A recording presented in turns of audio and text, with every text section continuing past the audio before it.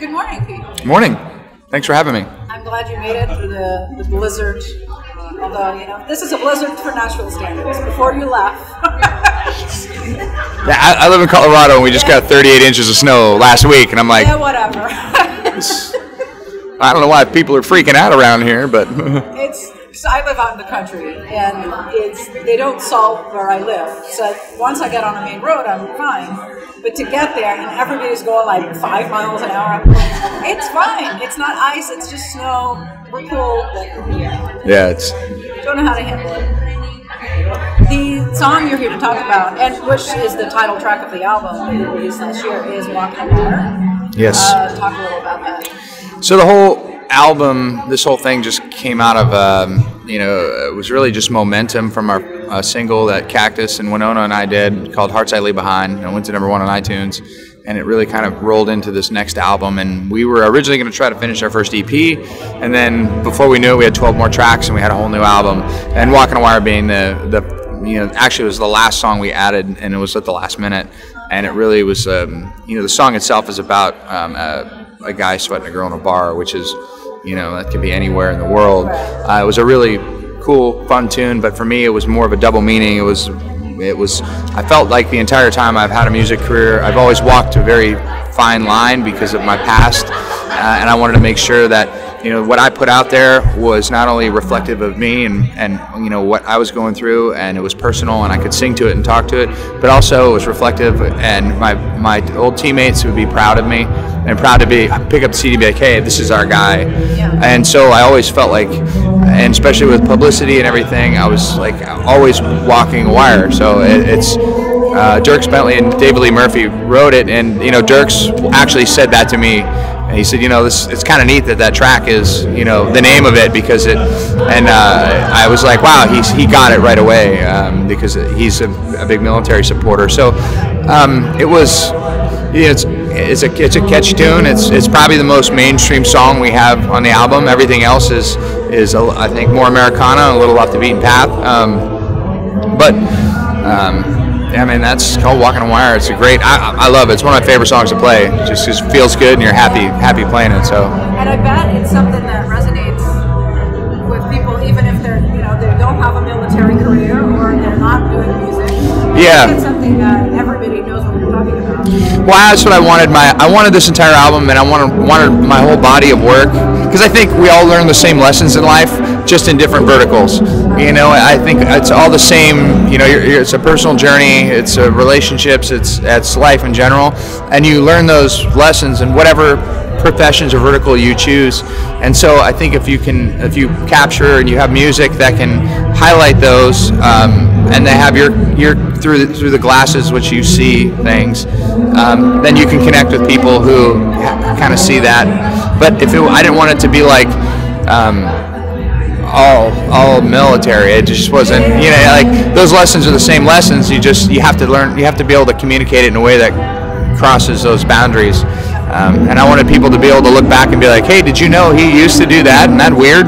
Um, I didn't want it to be something that was out front. And when, you know, so the song's ready and you recorded it and the record's done and it's ready to go on iTunes, how, how does that feel? Like you, you know Well, it's about to be released, what's going on? Well, you're nervous. You know, I mean, it's the same feeling that that that you know, trepidation, that, that nerve, where you're you're giving something to the world that, in your mind, is great, and you know, you put your heart and soul into it, and you're you're gonna serve it up to the for public consumption, and you know, people can just absolutely crush it, and that's a part of you that you know you, you there's like a it's a fine line you have to walk because you have to kind of, you know, uh, uh, you have to give yourself away to be a good artist. You have to be that that vulnerability to like pour it out there.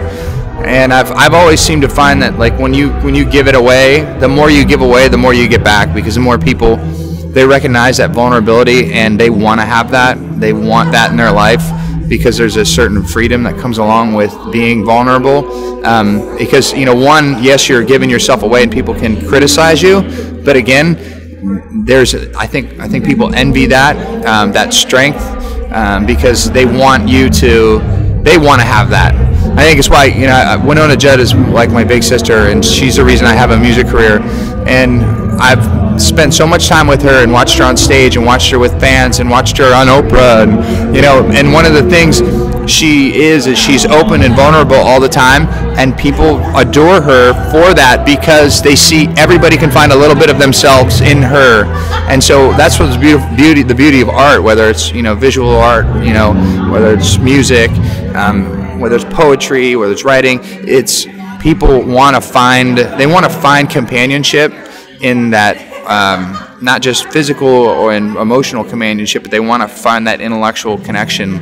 Um, you know, they there's a certain community of um, there's a certain community that grows when you, when you can share experiences and, and people connect. But it's and you mentioned Wynonna, who's a fantastic example of and one of the, the more in, in current like you know pop success stories would be Adele. Yeah. You know, she writes. Oh, she's amazing. Leads her heart onto the paper. I love her. Sings it, and you know, people sells a jillion records. That's not a coincidence. No, it's not at all. And I think that's the. I, I'm hoping that country music is getting back to that. I think we went away from that. You know, like you can only sing so many songs about a dog and a pickup truck, uh, and you know, and getting drunk, and, and, like there's only so much you can say about that you know that's cool and fun and people want to party. not going to go away, but that was the only thing that was going Right, and I and I think you know it's like you you lo- people lose respect for the genre.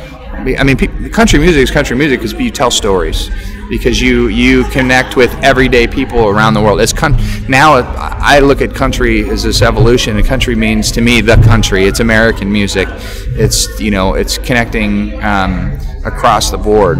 Uh, so I think that I hope it's getting back to that where you know you can you can sing and write and you know and connect with people and it's not just this superficial hey i want to get drunk on a friday night and forget my problems like that's cool we all want to do that and everyone wants to go dance have a good time but when you're sitting alone in your car you know and you're driving somewhere or you're on a plane and you put your you know your headphones on and you go into that place like you want something more you don't just want that you know, so there's I, am hoping we go back in that direction where you know the Chris Stapletons of the world get uh, get their day as well. So.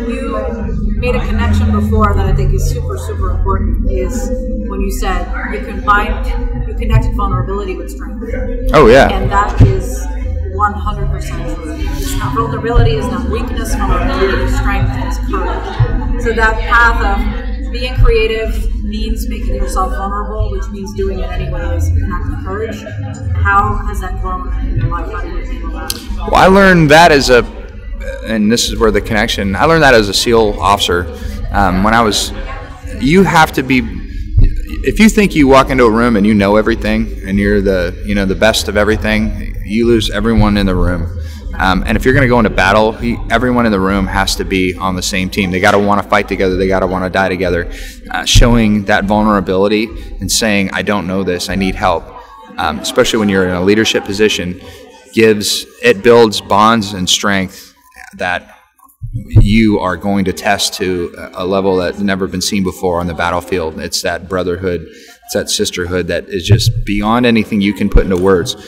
And the key I always found is, and is, is being a leader, is to show that vulnerability because that builds a bond with somebody else who can fill that hole. Um, and I, and you know, and I've that's how you that's that's why men fight. That's why women fight. That's why you go to combat. It's because when you're you have that together, you can't. It's hard to find anywhere else in the world. And that's why music, I think, was a natural. I, I was drawn drawn to play music and drawn to write and drawn to sing because that's that same bond you can build with people that you've never even seen before. You don't have to walk on a battlefield. You can be vulnerable and you still have that connection to other people. And that's what, you know, people ask me what I miss about being a SEAL. It's my brothers. I miss being in the room with them. I, I miss that love that we have for one another. Music allows me to recreate that with a larger audience, maybe not to the depth, but, you know, when you meet somebody who's, you know, says, oh my God, you know, especially like the song Hearts I Leave Behind, met so many people who just were like, I need to tell you about what that song did for me. And to me, that's just like, that's the same thing, you know, coming in from a crazy, you know, crazy battle and, and you're standing next to the dude and it's just like, wow, man, thank you. You Yeah, totally my stepped. Like you had my back. You were there for me. It's that same feeling, but you can't replicate that. Um, you can't replicate that unless you have that vulnerability and, and you're willing to give everything away. Then everything comes back to you. And it's the, the metaphor that gets used to explain vulnerability by um, one of my favorite researchers is the idea of the arena. If you walk into the arena and you're showing up, that's exactly The man in the arena, yeah. Yeah, exactly. not- in not the critic who And- and counts. It can be um, whatever your arena is. Like my arena is, you know, a particular thing. Or I maybe I have three different arenas going on at any one time. Mm-hmm. But people's arena can be, you know, their personal life, something that they're struggling with, or it could be I need to make a career decision, and that's my arena right now. Um, and I think that's why when you said people ask you about, oh, you went from military to this, and this is different. And in my head, I, when I read your bio, I was like, no, this makes perfect sense to me because it is the same thing. Because it, and the reason it's the same thing is because it's still it's about human beings, Yeah, and, and and we all have arenas, and we all know exactly what we're talking about. Well, life, you know, war is life on 11. I always say that. I use a metaphor from, from Spinal Tap, you know? Like this amp uh, goes to 11. Favorite quote of the day. It really is. War is life. You know, when he's going, when Nigel's going through the, the amp and he's like, it goes to 11, just so if you need that extra oomph. And the guy goes, well, why, doesn't, why don't you just make 10 louder? And he goes, because this one goes to 11. Like, like that, th- th- like, I don't need, why do you even ask that question? Goes to 11. Like, how, how did you not get that?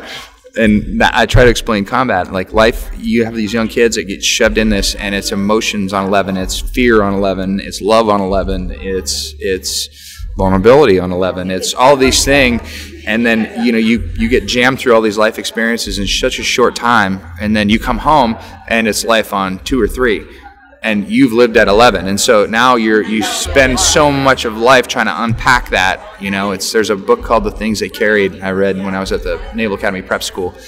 And it was written by a vietnam veteran. And it was he was talking about things they carried in their rucksack. But it was really a metaphor for the emotional baggage he carried as he came home. And so you know you have this experience and how do you parlay that? How do you you know show people and, and make a connection with people so they can understand what war is like and what what those you know you have all these great lessons you learn and you can give so much back to society you know and these kids but they come home and they're not really understood because they don't know how to express what you and I are talking about. And so art and music is such a fantastic medium to do that because you you can you can give everything into you can put everything into a painting if you go to the National Intrepid Center of Excellence, it's a it's a holistic, integrated healing facility um, for traumatic brain injury and post-traumatic stress. I spent a month there, and they have art therapy and music therapy. Guys who have never painted anything in their life, you'll see these hardened warriors go in and they have these masks, and they paint these masks, and it is and they've saved every single one, and they're all on the wall in there, and you can sit there and stare at this, and it's such an unbelievable, um, you know uh, Melissa Walker, she's the art, art therapist there. And they also have music therapy, and it's just unbelievable visual. Like here's war from all these people's mindset. Here's what being you know uh, wounded means, and you'll see these guys who are these hardened warriors go in there and they're they spend days making these masks and this art, and they all of a sudden they just they find a way to get it out. And it's a visual representation of that, and that's that because you can walk in and like that's that vulnerability that hey, I'm not an artist, but I'm going to go create art. I'm not a I'm not a musician, but I want to create music. I just happen to be lucky enough that I grew up as a musician, and when they said, hey, the best thing you can do to heal your brain is to write music, it engages your whole brain, increases blood flow, increases oxygen. So write, and it'll help you with your emotional stuff. And I was like, well, I've already known that. Like I've been writing music my whole life. I grew up doing it, but then it's you know for them to connect it in a clinical setting, like this is good for you because and you're like, okay, this it's like it's almost full circle, you know. It's like here's the touchy feely stuff over here. Well, here's the empirical data, and when you and you go, oh wow, I already I always knew it was true. I knew because I knew, um, but I didn't. You know, people would look at it and go, oh well, you don't have proof. Like, I don't need proof, but here it is now. Exactly. And- And, that's, that to me is what I recently gave a talk on um, creative.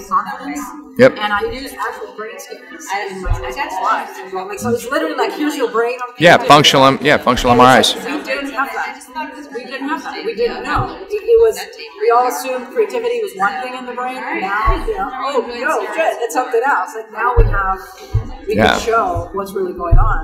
Um, one aspect when I work with people, there's several things that keep coming up again and again, and one of the things that comes up the most is patience. You need to be patient. If you want to pursue something creative, especially music, you're going to need to stay patient. How do you how do you handle that need to stay patient and reach for those goals it's it's it, well, it's funny because a lot of guys that have been injured, uh, so there's a lot of comorbidity between post-traumatic stress and traumatic brain injury, and one of the things is attention. But there's a handful of things that allow you to, to focus your brain and, and really kind of regain that because it's it's an injury, so it's, it's anything else. It, it's practice, and you have to go back and learn it. Is when you are invested in writing um, a song.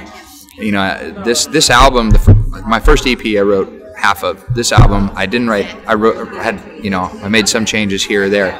And part of the reason I did that, I picked songs that were reflective of me. But from a learning standpoint, I when you own something, when you make it yours, then you have to crawl inside the mind of the person that wrote it and crawl inside their, you know, their conscious and figure out what melodically what were they thinking. So for me, that was how to learn how to become a better songwriter. Was well, well, let me crawl into the minds of great songwriters that wrote on my stuff. You know, wrote the stuff that I'm playing right now. And as I did that, you know, we had this we have this way of learning in the SEAL teams where if we want to learn how to skydive, we go hire the best skydivers in the world. You want to learn how to you want to learn how to dirt bike, go hire the best dirt bikers in the world. You want to learn how to drive, go hire the best drivers in the world. And get, crawl inside their mind and then then learn it and then pull it out and then figure out how to teach it. How, how what they're doing fits in with what you already did and what you can learn. And if you can teach it, then you can replicate it. That's when you really know how to do it. And so for me, this was part of that process. Let me let me crawl inside of the mind of these guys. Let me own this. And then now, as I'm writing to finish my going back to finish my first EP, which will be an LP, uh, hopefully by the end of the year, go back and take those lessons and try to apply it and and come out with something that's all mine or 90% of mine because I'm you know I, so it's it's I think it's an evolution but when you get into it and you have a passion um, passion for something that, that's the key to any kind of learning you have to have that passion because you're going to fail life is just life is just a whole bunch of failures. I always tell people when I give my lectures, I do public speaking. I'm like, there's only one thing that I'm better at than everybody in the world, and that's failing. I can fail faster, harder, and more dramatic than anyone. But on the other side, I can pick myself up, and because I'm like, okay, I, I, can, make adjustments. That's what you learn on the battlefield. Like, everything you do is wrong, you know. But hopefully, it hopefully you can adjust faster and and and come out on top uh, faster than your enemy. yeah, that process of the in between that, you know, face down moment, like you, you made the wrong decision and you realize it. That, Yep. re- that moment of realization sucks for everybody. Yeah. But if you don't have that, But then the, you never the grow. difference is how long it takes you to get to. Okay, here's the lesson I learned. Like how how has that shortened for you? Well, there's a guy called uh, his name is Bill Boyd, and he was a fighter pilot, and uh, he came up with this thing called the OODA loop. So, and that's how he taught dogfighting. And he'd never been he's never been beaten. He's he's gone. He's he's, he's dead now. But um, Bill had never been eaten, beaten in a dogfight, and he always he would teach. He taught the Air Force's Top Gun school. For the people at home, like we're talking about airplanes. Yeah, airplanes. Uh, he was an Air Force pilot. He was a fight, fight fighter pilot. Yeah, not a dog. It was a it was a fighter pilot. And so when two when two planes get in a fight, it's called a dog fight. This, is, this isn't this isn't a Michael Vick episode. I to make sure that people you know. but what he said was so here, and it's a very simple thing. It's called the OODA loop. It's a observe, uh, orient, decide, act. And he goes, the faster you can close that loop, because every time the plane would move, he would observe, he would orient where am I in relationship, what's happening outside of my plane. I would orient myself. So observe, orient, decide, what am I going to do, then act. And then the other person would move, and then he would, you know, OODA loop, OODA loop, OODA loop. Because the faster you can close that loop, the better you're going to be at anything you do. So it was just a, it wasn't just for you know fighter pilots. It was you know the battlefield in general, in life in general, because everything's dynamic. So you have to be conscious of, and I think the listener that you have to be conscious of everything around you, where you are in relationship to everything around you, and whatever your goal is, how you navigate through that. And you know, it's it, the the the uh, the music industry right now is like so dynamic and fluid. Um, you have to you know you got to observe orient decide and act. And and if you don't do that fast enough if you don't do that fast enough then you're going to get crushed by the machine. And you can take this as wide as you'd like so it doesn't have to just say with music. Um, when you no no no that's fine. make a decision then later on you have to look back on and go yeah okay maybe that wasn't the right thing mm-hmm. um, what usually gets you into that situation is that things like patience, uh, being too eager, so making a decision too quickly, um, listening to bad advice. What are, what are the kinds of things that when you have to circle back to a decision, what, what got you You know, they did a, a study a long time ago. Failure is, there's never, usually failures happen in threes. Um, whether you're looking at a, a, plane crash, and they're usually just, they're, they're, they're um, omissions. Usually it's three omissions in a row cause catastrophic failure. And you can pretty much trace every single catastrophe in history back to three major omissions. Uh, uh, there's a, you know, uh, I think was Malcolm Gladwell, he wrote. Um, oh, the 10,000 hours? Well, it was, uh, talking about the Korean, um, uh, what's the name of the book? But it was Korean Airlines. They had the worst safety oh, record. And there was not only was it you know it was cultural all the you know the cultural yeah, issues they, they, were afraid to speak up because right. their superior officer. but there's usually three omissions in there that led to that yeah. catastrophic failure and so I, it's it's never one thing um, but it's being conscious enough to recognize like if you're not recognizing all the information and all of the things that are coming at you and you choose to see things the way you want them to be instead of the way they are uh, and then you start omitting you know you omit things, then you are you are destined for failure on a small scale or a large scale. So I think the the, the, the, the challenge becomes in life in general is is to be um, connected to it and um, observant and, and but also have that confidence in, in yourself. That's where that courage comes in to go. I'm, I don't want that to be what it is, but it is what it is. And if I I choose to decide that I'm not seeing what the truth is, then that's one omission. And so where are you going? And then usually it's the next one, the next one, and then before you know it, you're in a bad place. And I don't care how good you are at it, we're still emotional people, we're still human beings. We want certain things, so there's a human component to it. It's not mechanical, it's not computer, it's it's this it's an X factor. It's a it's you know it's you know this dynamic environment you, we all are engaged in um, or not engaged in, and that's another omission. Exactly, because it's this one of the things that I I see, and also you know there's also the data on that now is that um, we do anything to get out of this Yeah. So we make decisions too quickly, or we make this whatever the next thing is, just to not stay in this company. And I think that's a lot when people look back on decisions what what I say in my talks is when you make a decision and later on you think, oh, what was I thinking? Well, you weren't. If you have to ask that question, it means in that moment. Yeah, you weren't you engaged. actually know to keep going on. There was, Yeah. I just don't want this. I'll just make another decision. That might not be right, but I just don't want to. And it's human nature, you know. It's like you can try and you can Oh, you can fight it, done. and it's Yeah. and that's and that's where that you know I think that's where that struggle and art comes from Yeah. because it's like we all have that struggle. So how do you how do you It's never get it out? It's yeah, it never does ends. it. How do you filter feedback? Um, because you can't take everything in because you would go crazy with a hundred thousand opinions. But you need to keep the creative criticism, the, the constructive criticism. That's going to help you get better. Right. Or how do you filter who whose opinion comes through and whose opinion? I Not think ignore, but you kind of go, yeah, I'm not going to you know, act on that. Well, I'll, uh, that also goes back to human relationships. I think you, when people criticize me or whatever they're doing, I there's there's always an element of truth in everything, whether you want to recognize it or not, um, and you can. The, so the, the criticism you choose to take in is the strength that you have, and wh- what is it? You know, like I I think that was what you know the the criticism that's coming in that's going to hit home the more the most is the one that hits at truth that maybe you haven't recognized.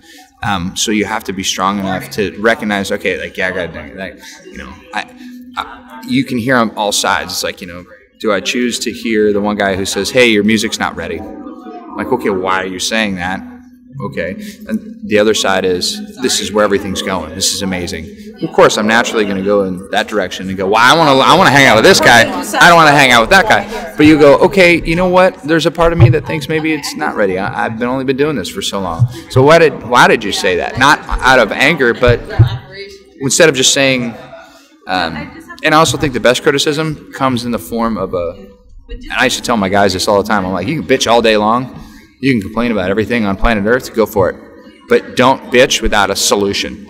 Don't come into my, don't come in and be like, hey, that was screwed up. Well, yeah, I probably know it's screwed up, but what are we going to do to fix Yeah, it? don't just bring problems. Don't bring problems, bring solutions. And so when people criticize, I think the, the, the best criticism comes with, hey, listen, here's what I think. I think your music isn't ready, and here's why I think that. And you can go, well, okay, then you can have a discussion. You can meet. And I think this, goes to our politics right now, what's going on in the country. Well, you're an idiot, you're an idiot, you're an idiot, you're an. Well, I don't think, okay, that's fine. There's no discussion. Instead of saying, okay, well, I think you're wrong. Here are the facts as I see them. Put them on the table go, okay, well, I will agree with what you said, but I think this is wrong, and let's let's talk about it, and let's find let's figure out how to move forward. Um, so the criticism that I take on board personally is a criticism that I know is coming from somebody a who cares about me as a human being. Like they may have another agenda. Yeah, your record sucks. Okay. Well, oh, that's funny. You got an artist that's in the same situation as me, and they're putting on an art like yeah, it's a competition thing. You know, whatever. Your sucks, or yeah, whatever.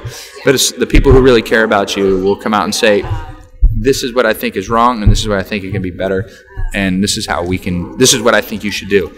And then I'll take that on because if there's an element of truth that I recognize, even if I can't speak to it, um, and you know the person is genuine, then you can, and you take that on board. But it's just, I think it's life. Well, I, I, I tend to end with um, a much lighter question. Okay. Just after therapy, right? Um, is if you had to put together the soundtrack to your life with songs that you grew up with, songs that are important to you, songs that I have songs that are my friends. You know, I hang out with them when I need them. Uh, what makes the record? Okay, yeah. Ah. Ooh, God, that's hard. It's so. I. Uh, um, I got just I love music in general. Um, Or it can be a box set. Like, It can be a you're box set. you're You know, there- twelve tracks. you know the, the uh, Oh, I'm sorry, not singing. I meant, I meant so many Eagles songs, um, so many Stone Temple Pilot songs, uh, so many Waylon Jennings songs, so many uh, Wynonna Judd songs, um, so many Metallica songs. Oh, wherever your own. Yeah, yeah, exactly. That's that. I, uh, I hear you know. it's, yeah, it, it sings. God, And, and since I mean, I could sit here all day and and, and do that. Um, you know, that's you. And that you know, it's it's so hard to pick. Uh, so many Pearl Jam songs. I grew up in that grunge era, and uh, you know, you know, Stone Temple Pilots and Pearl Jam. That always pushed me into wanting to perform, and um, you know. But then also, that's why I love the whole country music because there's so many great storytellers, and and that I love telling stories, and I love that communication method. Um, oh God, what else? Yeah, I was gonna say it. I gave you more genres than anything else, yeah, that's but because that's, and I always think um, it's hard to do because you kind of think, well, okay, what genre am I limited to? A genre? What kind of mood am I in? Like, what Yeah. are we talking about? Like, what type of music? I could do that after. If you gave me a week for that project, I could come up with a box set, Oh, here's my list. Yeah. Great City. and it's growing. Always. Yeah. Because it'll will be more stuff next year because new stuff's released. yep. Right, thank you so much. Thank you so much. I appreciate it.